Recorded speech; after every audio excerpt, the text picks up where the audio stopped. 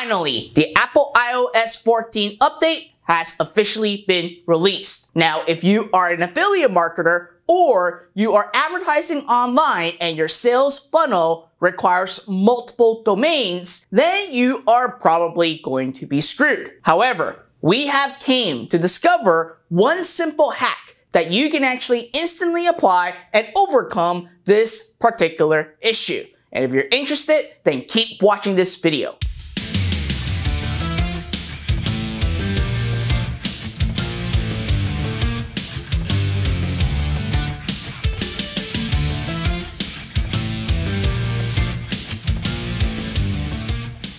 What is up everybody, Fred Lam here and welcome to my video channel where I share everything on how to build, grow, and scale an online business. Now, ever since that I released an entire video about the iOS 14 tracking and how to actually get your Facebook ad account all completed for the entire release, I get a lot of questions asking, Fred, how do I overcome this issue as an affiliate? And also, what if my sales funnel requires multiple domains and some of the domains I cannot even verify?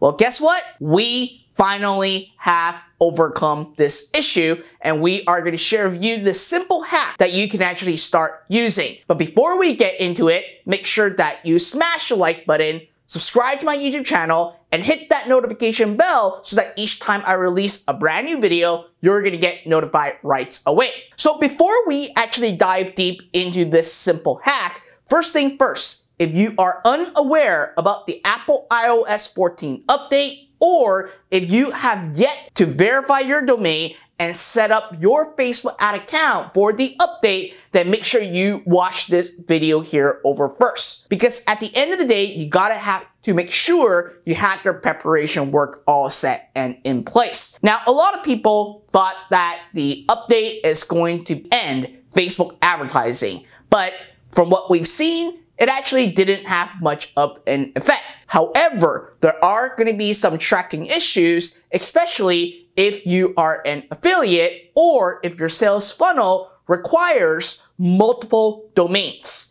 Let's say for an example, if your initiate checkout and your purchase is going to be on a different domain because you are working with a third party provider, then that's going to be an issue. But as I said, we finally found a way to overcome this and we are going to share this with you. However, First thing first, it is a little bit complex and complicated. So I do encourage you to actually watch this video a couple times and I will even hop over to my screen in a bit to show you exactly how it works. But before we get into it, let me give you the 30,000 foot overview first. So let's say that you have your domain, abc.com, all verified. In order for your pixel to work properly, you would need to actually ensure that any pixel or conversion events should be on abc.com. However, if your sales funnel requires another domain, let's say a checkout from a third party, or you are advertising as an affiliate, promote other people's product, you are unable to verify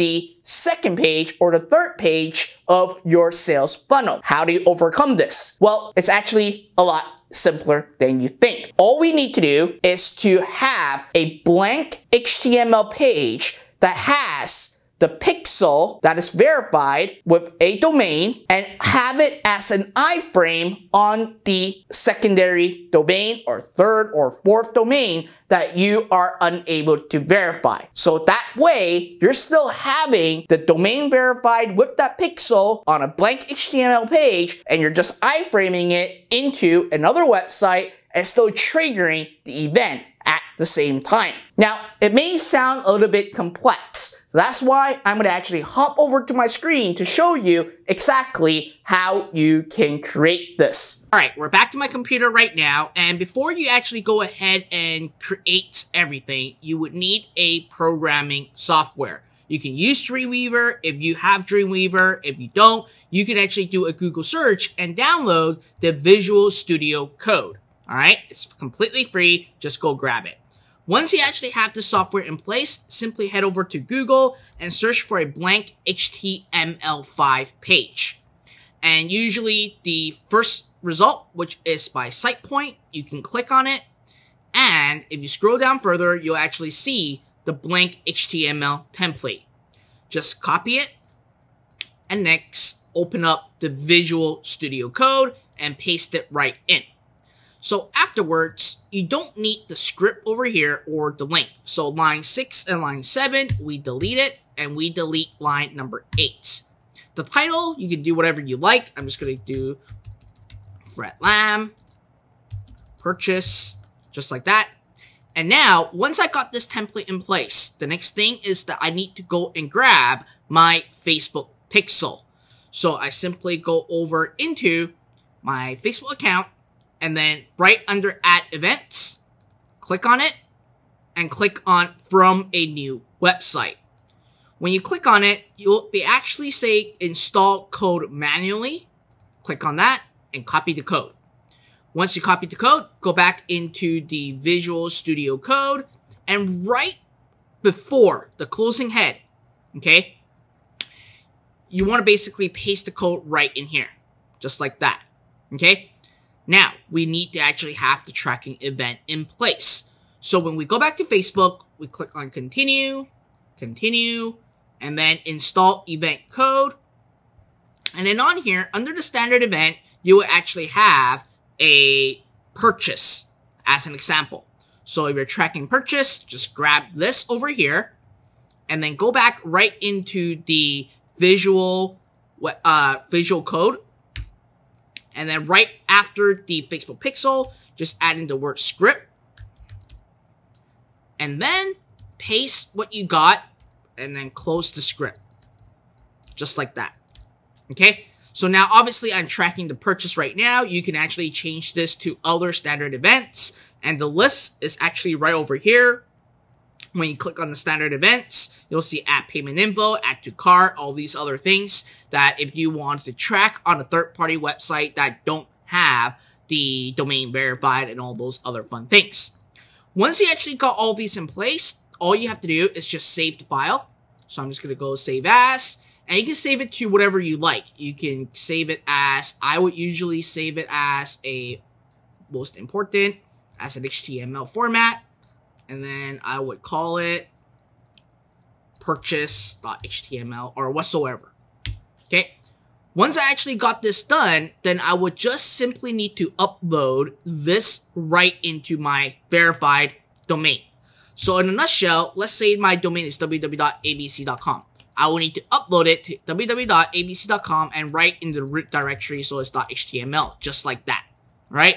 So once I actually have this file onto my domain that I verified, then what I need to do next is to create an iframe code to actually install it into the third party website that I don't own or that I am not that I'm an affiliate of that I could actually ask the owner to upload for me or if you're using like Infusionsoft or other tracking uh, or payment software, you can actually put in this code. All you have to do is put in, open the, uh, use the open bracket, iframe source equal, and the quote, and then you put in the URL, https www.abc.com forward slash purchase.html.